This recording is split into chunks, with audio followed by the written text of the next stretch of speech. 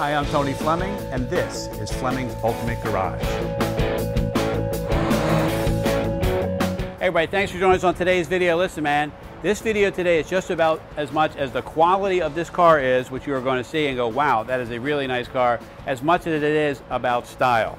Think about this, this is 2013, this car is over 50 years old, right? Okay? And look at it, it is so freaking cool, man. It has so many cool features and touches about it. Let's spend a few minutes, we'll walk around and check out the styling. This was at the top of its game and it was very expensive for its time. And this one here was the most expensive uh, that you could get in this model in the Fleetwood. It has virtually every option that you could get from the factory and it is loaded. So, all right, so let's start up here. I like to go this here. Come check this out. This paint here is a little nicer than the factory probably would have painted it, all right? But it is called San Remo Turquoise and it just has a cool name to start with. So what color is your Cadillac? Oh, San Remo Turquoise. Thank you so much. Anyway, the quality of it is great. You can read everything in there, all right? And then you talk about the detail and effort it takes to get good chrome on a car. Now keep in mind, a lot of these parts that are on this car are what we call made of unobtainium. They're made of unobtainium because there aren't any more about these. There aren't enough of these cars for somebody to reproduce the parts that you need to restore it, so you need to have a good car to start with if you're gonna do the restoration. And that's exactly what we had here. So all the bumpers have been re-chromed, okay? Headlight trim rings are re-chromed. You got uh, wide whites on there, but we have radials on there. So listen, if you're taking this to a show and you want to get judged, you're probably going to have to take the radials off and put the bias ply tires back on. But I put radials on the car because I know it just drives so much better with them on them, and you can really uh, enjoy the car that way. All right, but look at down the car uh, for the style, yes, but the fit and finish I want to talk about. I want to talk about how everything just seems to line up nicely. Even the look, the door locks work. I mean, like everything. Everything just works so nicely.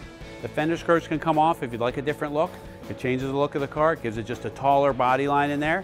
So you get two totally different cars, all right? And then you got things like this right here with the Fleetwood call out for the Cadillac.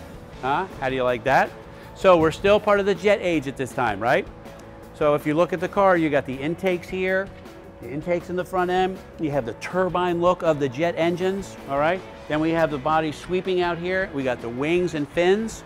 The fins here are just uh, such a great styling feature. And then we have things like, if you look at this, it almost mimics the tail section of today's modern jet. And there's the exhaust coming out. I love this lens right in here. This is so cool, man. Check this thing out. It's just bad, bad, bad.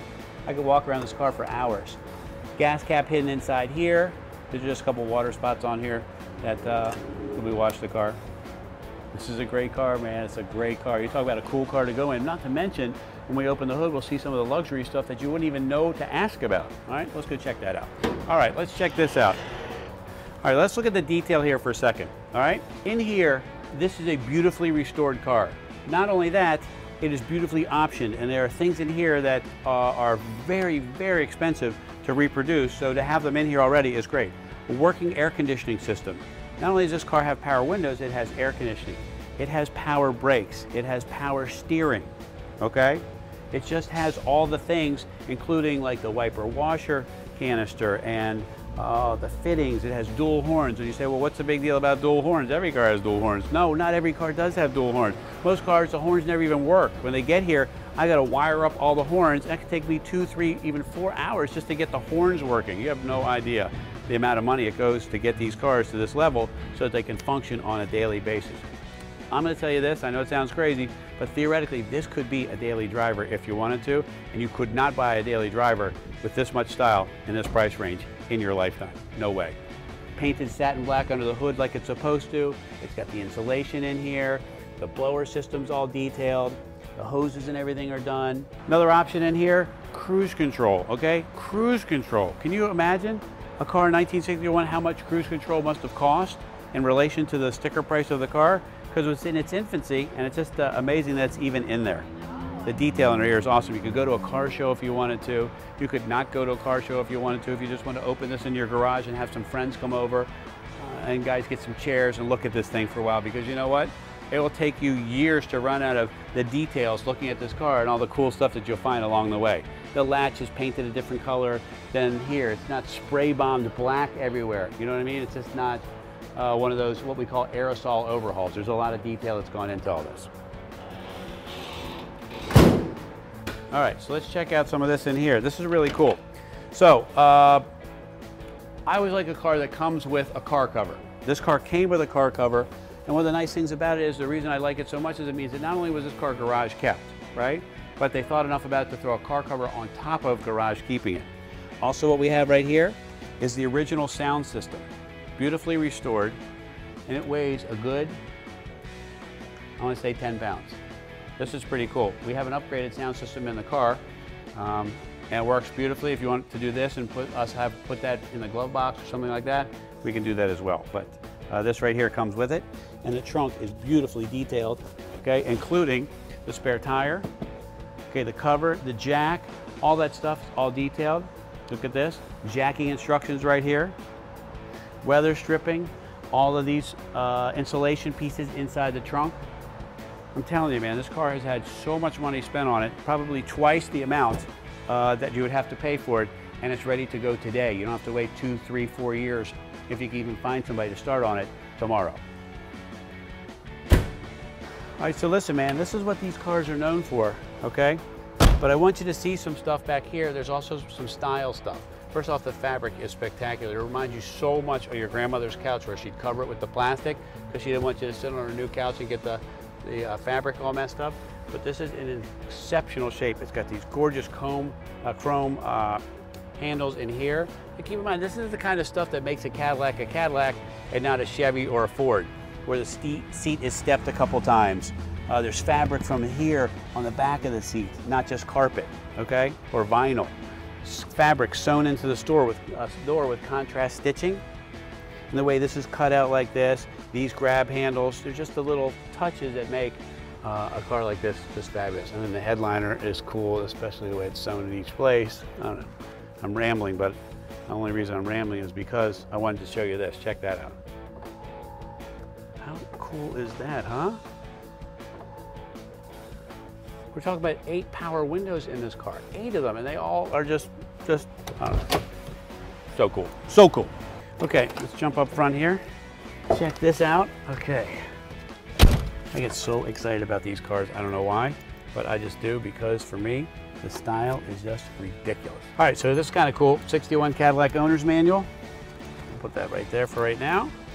All right. All right, so this is the upgraded sound system we talked about. We have the original one in the trunk, all right? It's a digital unit, so uh, it has uh, AM, FM, uh, a couple other nice features about it, and you can also add an iPod to it uh, that uh, plugs right in the back, so that's uh, an easy addition, just ask us to do that.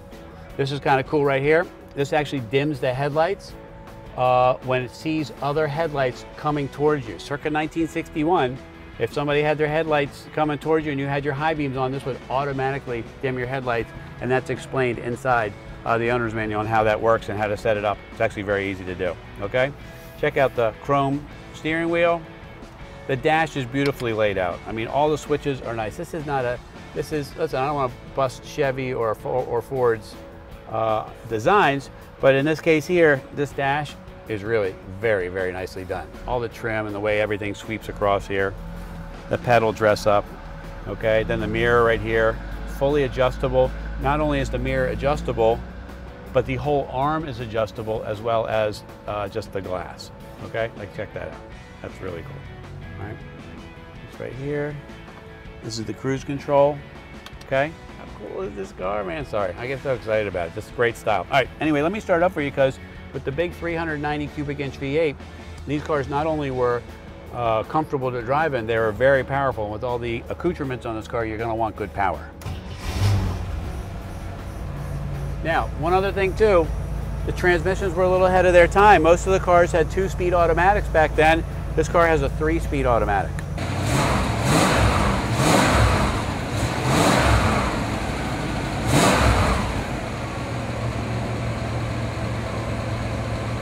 You know, part of the style of this car is it just keeps going and going and going. Like you throw down the window, okay, cool, it has power windows, that's awesome.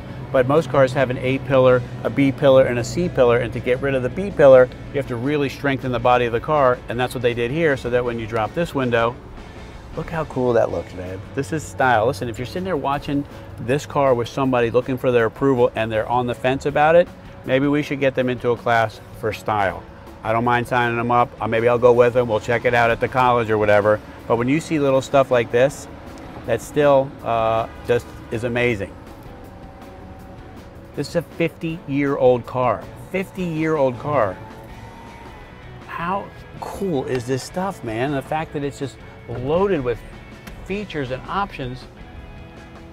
I don't know. I get so excited about this. Listen, man, I love an Aston Martin, a 2014 Aston Martin, okay? Great car. This car right here, run the Aston down the street and run this down the street and look how many people give you this for this car versus the other. And that's why, because this car has style. All right.